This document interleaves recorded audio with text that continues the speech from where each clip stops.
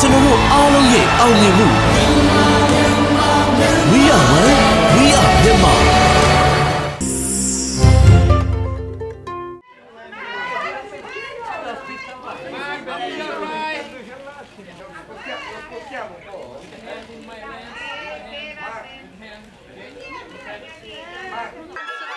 အသက်48နှစ်အရွယ်မင်းသားမတ်ဝဲဘတ်ဟာရှက်ဖလီတဲကအမေရိကန်ပြည်ထောင်စုကိုမြင်ကျင်တဲ့ဆန္ဒရှိနေပါတယ်။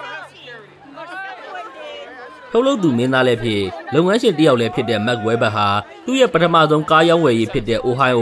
ကိုလံဘတ်မှာရှိတဲ့ Chevrolet ကိုဇူလိုင်လ19ရက်နေ့မှာမိတ်ဆက်ကြေညာခဲ့တာဖြစ်ပါတယ်။ဒါကတော့ဝက်ဘတ်အနေနဲ့အရှိတောင်ပိုင်းနဲ့မီချီဂန်အလဲပိုင်းတစ်လျှောက်က Chevrolet ရောင်းဝယ်ရေးကုမ္ပဏီ၈ခုကိုပိုင်ဆိုင်ထားတဲ့စီးပွားရေးသမား McMahon နဲ့စီးပွားဘက်လုပ်ကိုင်တာဖြစ်ပါတယ်။သူတို့ဟာနှစ်ပေါင်းများစွာကြာအောင်မိတ်ဆွေအဖြစ်ရှိခဲ့ပြီး Cleveland နဲ့ Georgia မှာရှိတဲ့ဝဲဘာကစားတောက်ဆိုင်ရဲ့စီးပွားဘက်တွေလို့ဆိုထားပါတယ်။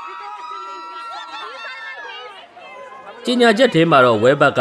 သူဟာသူ့ရဲ့ brand ကိုစမ်းသစ်ဖို့နီလန်းတွေကိုအပူတပြင်းရှာဖွေနေတယ်လို့ဆိုသလို Chevrolet လိုထင်ရှားတဲ့ brand ကိုကိုစားပြုဖို့သူ့ကိုစိတ်အားတက်ကြွစေတယ်လို့ဆိုခဲ့ပါတယ်။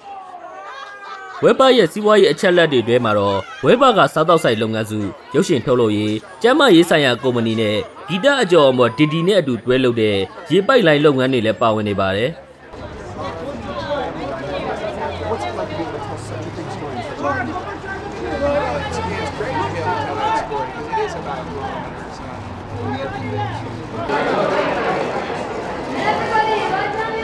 Mark looking up there. All four right down